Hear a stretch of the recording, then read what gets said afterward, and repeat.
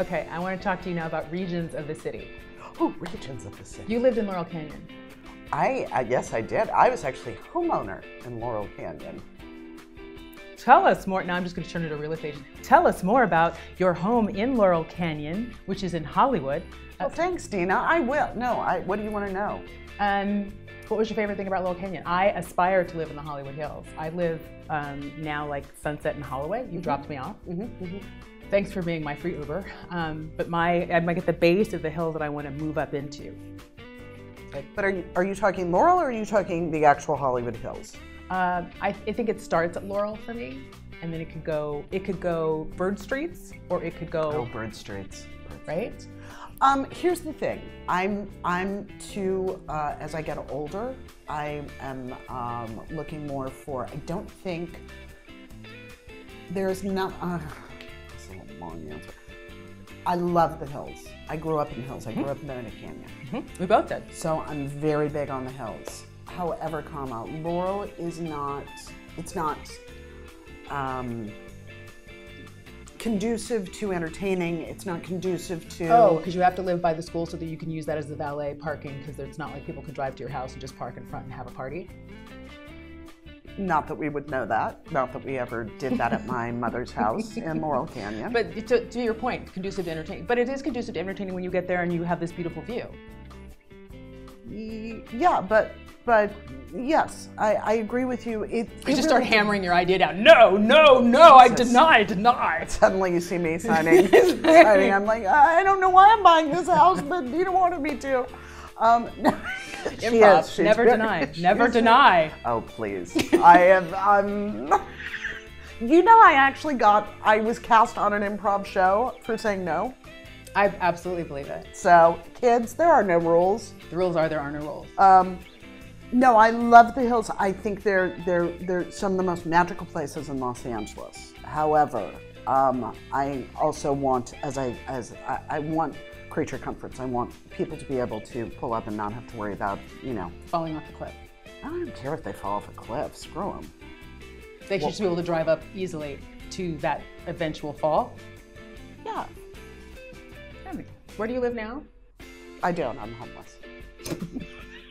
That's why you have a really nice car, so that you can live in the car. That's exactly it. Um, showering is a bit difficult, but um, Join Equinox. You can have your nice car and then have a beautiful shower. oh my God, you're so smart. That's Because I live in my car. Um, I live at Beverly Center, uh, kind of by West Hollywood. Right, we call that Miracle Mile, sort of. No, we I believe we call it Beverly Grove. Which is one of my favorite places in Los Angeles. Actually, if I was going to own a home, Beverly Grove would probably be where I would buy. I drove past Century City the other day. It's beautiful. It is beautiful. I can't wait. I think the Grove is up for awakening. It's a commercial real estate phrase that I just said, but I think they're up for like. Is that really a, a term? It is now. I just made it a term. Oh my God! You need to like do things like there needs to be sound effects that you just came up with a term. How about this? Well, that was stupid. Okay, not that. I'm gonna work on it. Say the word again. No, idiot. what What does the Grove need to do? Oh, it's in for a, an, an awakening. It's in, yeah, because because I think it's outside and everyone goes there and it's always crowded and you can go for a dinner and a movie and that's the only place to go and that's about to all happen new and revised in Century City and in Eataly. Jesus, Christ, in Eataly, Eataly, Mario Batali. Oh, Mario Batali. Well, why didn't you just say Eataly? Boom. okay. Um, Mario, we'd love to come and try out Eataly when it opens. They were at a food thing I went to. They had a booth, and I just stood and talked to Lee. I was like, "When's it opening?" Like, I uh, she was like this far from calling security. Like, this lady has eaten all the free food and keeps acting like she's gonna come to the restaurant when it opens. Um, so So, good. so Century City is gonna have all of that, movie theaters and places to go, and I think I've been going to the movie theaters the uh, the entire time during the. Oh, please. Um, no, it's but it's going to be exquisite. there's a tiny Shake Shack there. now, I like a big Shake Shack. I like to go West Hollywood Shake Shack. well, I, I, there's something not working for me with the tiny one. Yeah, but I don't like tiny.